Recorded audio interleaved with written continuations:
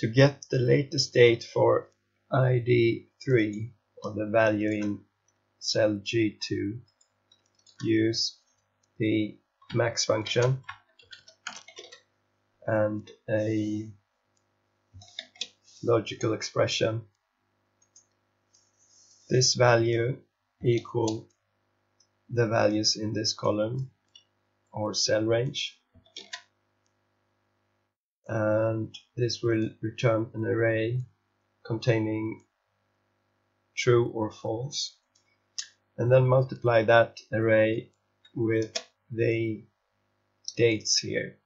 And dates are numbers in Excel. So if a value if a date is multiplied with true it returns the date. And if it is multiplied with false it returns 0.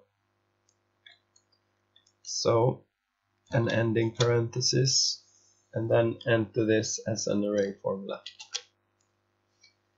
And for ID 3 we have that value here, here, here, here, here and here. The latest date is this date here and it seems to be correct. Yes. To get the corresponding value in column D for value ID 3 we need to use another logical expression.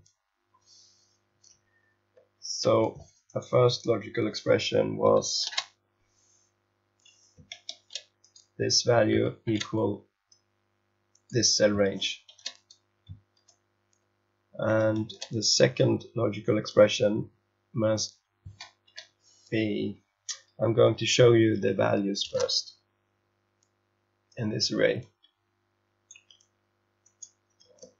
So extend the formula and here are the values. And you can see that it returns true when this value is equal to this value and it returns false if this value is not equal to this value.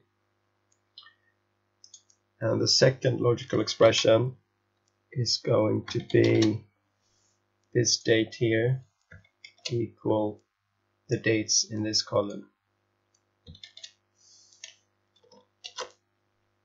And it will return true for only one date I believe. And it's this date here. The next thing to do is to build an array that contains row numbers for this array. And to do that I'm going to use the match function and the row function. And the cell reference is going to be this and row once again.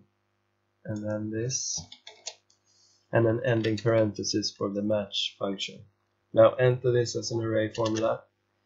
And it will return 1, 2, it will return as many numbers as the number of cells you have in your array or cell range and it will start with 1 and in this case it ends with 17 so what happens if we multiply this array with this array and with this array? Copy the logical expressions and then asterisk and then copy the second logical expression. And then an asterisk to multiply the third array. And the third array is this array this formula. Copy that and paste it. And now we have all the logical expressions and an array. So what happens? True multiplied with false is the same as 1 multiplied with 0 so this is 0 and 0 multiplied with 1 is 0 so it returns 0 for this value.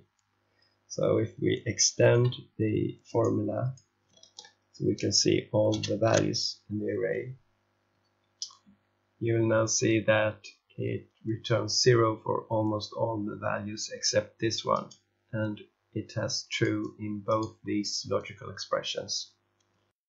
And now we can sum all the values in this array and use it to get the corresponding value from this column here. And I'm not going to use this sum function here because you you need to enter it as an array formula for that to work. Now I will use the sum product function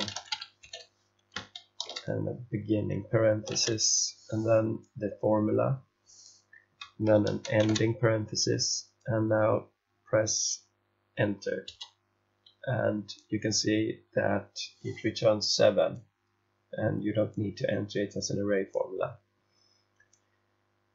and then use the index function to get the value from row 7 in this column. And row 7 is this value here. Index function and the cell reference to this cell range, comma, and the second argument in the index function is the row number. And then an ending parenthesis. And now enter it. Press enter only. Uh, the corresponding value for ID number 3 and the latest date is 59